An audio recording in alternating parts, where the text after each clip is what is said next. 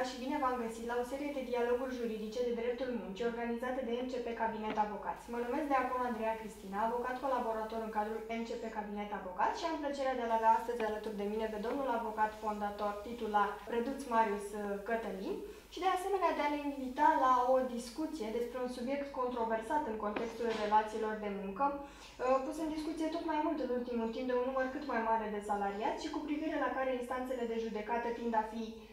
reticente, cel al daunelor morale. Bună ziua, domnule avocat! Bună ziua! Practica judiciară a confirmat faptul că viața profesională a fiecărui om are și o valență deosebită în planul dezvoltării sale profesionale, conferind echilibru și satisfacții sau, din potrivă, insatisfacții și nemulțumiri, aspecte ce au efect direct asupra calității vieții salariatului în general. În acest context în care se impune, practic, protejarea dreptului la viață profesională a salariatului și implicit la viața personală, cum este reglementat în legislația în vigoare conceptul de daune morale? Da, într-adevăr, relațiile de muncă, dincolo de raportul de subordonare care se stabilește între salariat și angajator, sunt relații de implică latura umană a fiecărei persoane angajatorul, chiar dacă este o uh, persoană abstractă, uh, se raportează în relațiile de muncă prin intermediul anumitor persoane, șefi ierarhic uh, superiorii, conducerea societății, partenerii societății și așa mai, și așa mai departe. Această componentă umană care este implicată în derularea relațiilor de muncă de multe ori sau în anumite situații chiar grav uh, sunt, uh, este afectată. Mă refer la demnitatea atât a uh, salariatului cât și a angajatorului. Această afectare a demnității persoanei salariatului apare mai ales în situațiile în care părțile nu mai privesc raporturile de muncă cu această componentă uh, umană, ci uh, intră într-o rigiditate și într-o neînțelegere uh, uh, câteodată uh, reciprocă. Daunele morale nici nu pot fi, uh, reglementarea daunelor morale nici nu poate fi amplu uh, legiferată uh, atât în dispozițiile codului civil, în dispozițiile codului muncii sau în diferite directive europene, deoarece ține, cum am arătat, de natura umană a fiecarei persoane. Fiecare persoană este vătămată într-un fel sau altul. Însă, în față de acest aspect al dificultății uh, legiferării aspectelor ce țin de uh, daunele uh, morale, nu trebuie neglijat nu trebuie neglijate situațiile în care, într-adevăr, o anumită persoană a fost vătămată și este necesar a se acorda daune morale. Ați punctat o chestiune foarte importantă legată de bă, dreptul la demnitate și voiam să adaug faptul că dreptul la demnitate nu trebuie privit în mod abstract, pentru că dreptul la demnitate în sine reprezintă însăși baza fundamentală a tuturor celorlalte drepturi. Și acum revenim la ceea ce ați spus dumneavoastră. După cum știm, recent au fost aduse modificări și completări uh, codului muncii în materia discriminării și hărțuirii la locul de muncă. Uh, bineînțeles, prin introducerea de noi concepte, cum ar fi victimizarea la locul de muncă și chiar prin definirea noțiunii de hărțuire. Ce impact considerați dumneavoastră că vor avea aceste modificări sub aspectul acordării daunelor morale? Uh, ambele uh, noțiuni la care ați făcut referire erau necesare a fi legiferate și în legislația națională care vizează domeniul relațiilor de muncă impactul este acela al încrederii. Am observat că imediat după adoptarea acestor acte normative a luat avânt și a fost argumentată solicitarea salariaților care s-au considerat vătămați de către angajatorii lor. Deci o reglementare națională, dincolo de reglementarea europeană, dă încredere uh, uh, cetățenilor resortisanți ai uh, statului respectiv. Însă toate aceste modificări și completări legislative este necesar a se regăsi și în jurisprudență. Numai jurisprudența va confirma dacă modificările aduse au fost sau nu uh, uh, utile. Din punctul meu de vedere, teoretic sunt utile, însă instanțele de judecată vor trebui să pună în aplicare pe ipotezele uh, prezentate de către uh, persoane uh, aceste dispoziții uh, legale. Ele nu au un caracter general, uh, nu privesc uh, lucruri abstracte genera, uh, generale, ci uh, vizează tocmai temeiurile de drept în baza cărora instanțele de judecată uh, pot uh, pronunța anumite uh, soluții prin care să acorde daune, daune interese pentru prejudiciile morale suferite de către, de către salariați. În acest context este evident că instanțele de judecată în virtutea rolului de a afla adevărul și de a stărui, și acest aspect este foarte important, dacă nu stăruie instanța de judecată Părțile uh, trebuie să convingă instanța în a stărui prin solicitarea de probe, prin prezentarea de argumente în aflarea uh, adevărului. Uh, prezentând prin dat aceste reglementări, să le spunem, și modificări în materia daunelor morale, care considerați dumneavoastră că sunt premisele, sau mai bine spus, situațiile în care salariații sunt îndreptățiți să solicite acordarea de daune morale? Uh, nu putem uh, stabili o listă a situațiilor în care uh, salariatul poate solicita daune morale, poate solicita daune pentru prejudiciu moral suferit. În orice situație în care acesta, și sunt două aspecte pe care vreau să le punctez, argumentează și oferă cel puțin indicii că a fost vătămat. Orice persoană are uh, propriul caracter, are propria demnitate sau conștientizează uh, propriul caracter și propria uh, demnitate. Este mai mult uh, o problemă de conștientizare uh, a uh, vătămării pe care o suferă fiecare dintre noi. Uh, o anumită persoană poate, se poate considera vătămată în situația în care șeful Uh, are un anumit, uh, șeful ierarhic în cadrul relațiilor de muncă are un anumit uh, comportament, dar o altă persoană nu. Depinde nu numai de demnitate, ci și de sensibilitatea fiecărui salariat în cadrul relațiilor de muncă. Iar această sensibilitate nu poate face obiectul unor, unui probatoriu. Nimeni nu poate să-și probeze propria sensibilitate, însă în acest domeniu al Uh, judecării uh, cauzelor care au ca obiect uh, solicitarea de a se acorda daune morale, ține de domeniul argumentării și prezentării unor minime indicii și, dacă este posibil, și a unor probe în dovedirea celor solicitate. De aceea, nu trebuie privit în mod absolut daunele morale nu pot fi uh, probate, prin urmare nu pot fi acordate. Daunele morale uh, uh, nu necesită probatoriu, prin urmare nu se, admite, nu se administrează niciun uh, probatoriu, ci se uh, acordă de, de ploană. Nici una dintre viziuni nu poate fi luată în considerare, ci Uh, partea solicitantă va argumenta, va prezenta instanței de judecată argumentele pentru care consideră că a fost vătămată și va prezenta minime, uh, minime indicii și anumite probe, dacă există probe, care să susțină uh, faptele ilicite ale angajatorului în cazul nostru, care să susțină cuantumul sau intervalul de sume pe care le uh, solicită în instanței de judecată. Bun, pentru că ați făcut referire la activitatea uh, și implicarea instanței de judecată în soluționarea acestor, acestor tipuri de, de litigi, uh, care ar trebui, de fapt, care sunt criteriile pe care trebuie să le urmărească și, de fapt, le urmăresc instanțele de judecată și, de altfel, cum poate totuși proba salariatul aceste, existența, existența acestor criterii? Uh, relațiile de muncă uh, se desfășoară având în vedere principiul legalității. Întâi de toate, uh, instanța de judecată va trebui să verifice dacă, într-adevăr, în derularea relațiilor de muncă a fost respectată legea, când mă refer la lege, mă refer legea lato sensu, atât în ceea ce privește codul muncii, codul civil,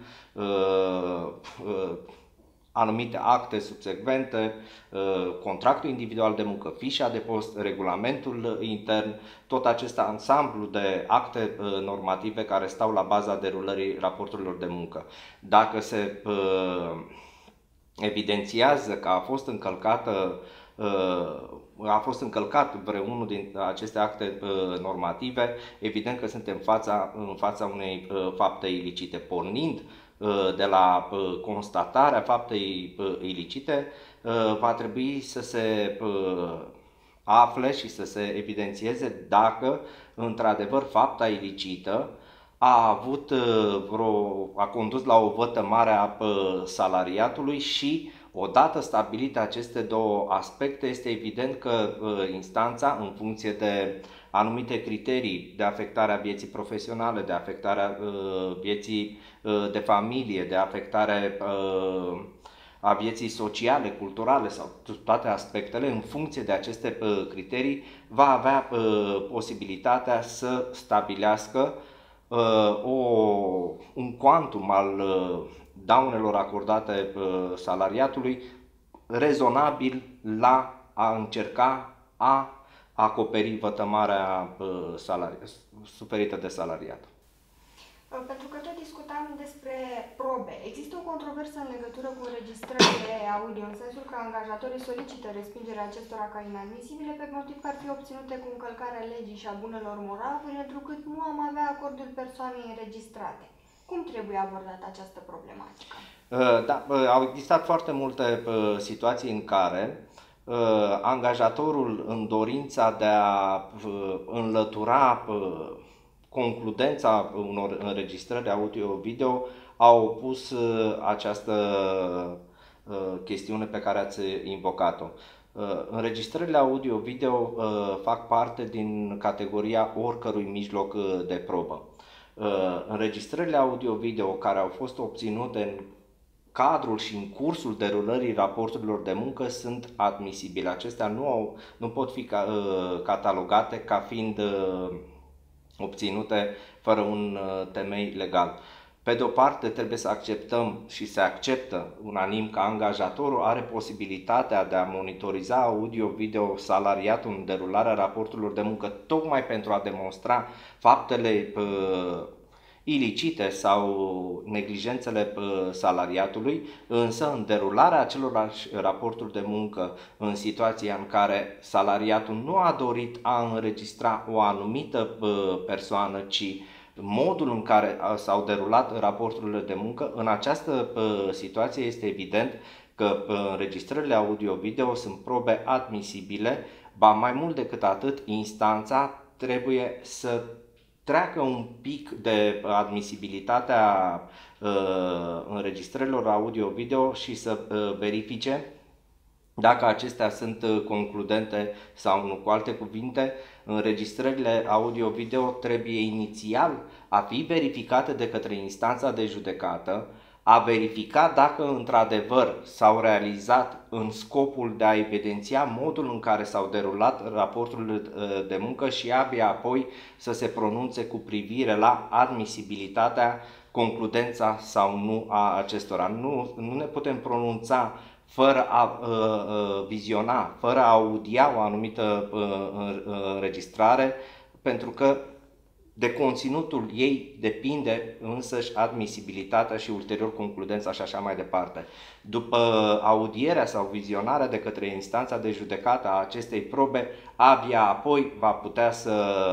se pronunțe cu privire la uh, acest aspect. Simplele afirmații ale angajatorului că ar fi inadmisibilă o astfel de probă uh, sunt uh, insuficiente. De aceea, uh, Uh, recomand și este firesc uh, a se avea în vedere de către părți a solicita întâi vizionarea acestor înregistrări și abia apoi să se pronunțe cu privire la admisibilitate. Este ca și cum s-ar prezenta un înscris instanței de judecată, dar acel înscris este într-un plic și evident că în instanța de judecată nu se poate pronunța asupra admisibilității, concludenței și utilității uh, acestuia. ca o chestiune care ține mai mult de practica avocaților, este necesar ca odată cu cererea de chemare în judecată să fie atașat și CD-ul sau stick-ul care conține această înregistrare. Ați punctat niște aspecte foarte importante ce se impuneau a fi, a fi discutate pentru că am observat o tendință tot mai mare a instanțelor de judecată de a respinge încă de la început o probă fără a avea uh, răbdarea de a, de a înțelege teza probatorie și de a înțelege practic uh, motivația uh, pe care salariatul în poziția de reclamant a avut-o în momentul în care a propus acea probă în susținerea cererii sale până la urmă. Uh, care este în definitiv finalitatea ce trebuie urmărită prin uh, acordarea daunelor morale, atât din perspectiva salariatului cât și din perspectiva angajatorului? Și aici uh, m-aș îndrăzni să vă întreb, pot fi considerate daunele morale o îmbogățire fără justă cauza salariatului? Evident că nu pot, nu pot fi îmbrățișate aceste teorii referitoare la faptul că o solicitare a salariatului de acoperire a unui prejudiciu moral suferit prin acordarea unor daune interes ar reprezenta o îmbogățire fără, fără justă cauză. Poate așa privește angajatorul sau, nu mi este teamă să o spun, poate așa ar privi instanțele de judecată ca acordând o anumită sumă mai mică sau mare ar îmbogăți pe, pe cineva. Nu, acestea sunt chestiuni uh, colaterale uh, dreptului și nu pot fi luate uh, în considerare. Este evident că acordarea uh, de daune interese pentru prejudiciu moral suferit și de multe ori prejudiciile sunt foarte uh, uh, mari suferite de către salariați, mai ales în organizațiile mari unde se dezumanizează relația șef ierarhic salariat, vizează tocmai o încercare de acoperire a prejudiciului suferit de către salariat. Totodată, nici nu putem să nu observăm faptul că în multe situații salariatul care se consideră nedreptățit, cu toate că nu a suferit un prejudiciu ce ar reclama acordarea unor daune morale, solicită acest lucru tocmai pentru a sancționa pecuniar uh, angajatorul. Evident că uh, ambele uh, uh, tablouri vor trebui verificate de către instanțele de judecată, ambele situații de fapt vor trebui uh, argumentate și uh, verificate de către instanțele de judecată pentru a nu se ajunge la situația în care daunele interese pentru prejudiciile morale să fie acordate în scop de răzbunare sau invers să nu fie acordate tocmai pentru a-i se arăta unei persoane că a îndrăznit să uh, solicite de daune morale, dar oricum nu le-ar obține. De la caz la caz, instanțele uh, trebuie să stăruiască în uh, identificarea argumentelor uh, prezentate de către părța argumentelor pertinente în oferirea uh, părților uh, a dreptului și a posibilității de a propune și de a administra probatoriu pentru a susține uh, vătămările, pentru a proba vătămările suferite și întinderea prejudiciului solicitat. Și de asemenea, cred că este foarte important să punctăm caracterul punitiv și sancționator pe care o, o astfel de măsură l-ar avea și cu privire la angajator, Uh, în sensul de a preveni pe viitor uh, repetarea unor astfel de evenimente, de acțiuni șicanatorii sau discriminatorii la adresa altor, altor salariați. Aici aș, aș, aș dori da. să, să fac uh, o precizare și din păcate am observat că nu, nu se tinde a se solicita instanțelor de judecată, a se face public și a se solicita instanței de judecată publicarea Uh, obligarea angajatorului la publicarea dispozitivului care a avut în vedere acordarea de daune uh, morale. Societățile angajatoare sunt persoane juridice care participă uh, la viața socială, economică și politică a unui anumit spațiu și este necesar ca și acestea, așa cum se întâmplă în cazul persoanelor fizice, să aibă o anumită conduită, un anumit comportament, pentru că am spus-o și o repet, în spatele unei persoane uh, juridice, angajatoare, se află anumite persoane fizice care produc și conduc la foarte multe abuzuri. Care ar fi opinia majoritară a instanțelor de judecată cu privire la uh, aceste acțiuni, având ca obiect acordarea de uh, daune morale și ne-ați putea oferi un exemplu din practică în care o astfel de acțiune a fost admisă? Da, au existat uh, multe uh, situații în care instanțele de judecată ne-au admis nouă, dar și multor colegii uh, cererile de acordare de daune interese pentru prejudiciile morale suferite de către, uh, de către salariați. Însă, cum am arătat uh, anterior, nu pot fi făcute publice aceste uh, cauze, tocmai pentru că lipsește capătul de cerere prin care angajatorul să uh, facă public uh, dispozitivul sau să îi se permită salariatului să facă public un astfel de caz. Societățile sunt uh, foarte temătoare la a se face acest lucru public, tocmai că țin foarte mult la, la imaginea, imaginea lor. Da, s-au acordat daune morale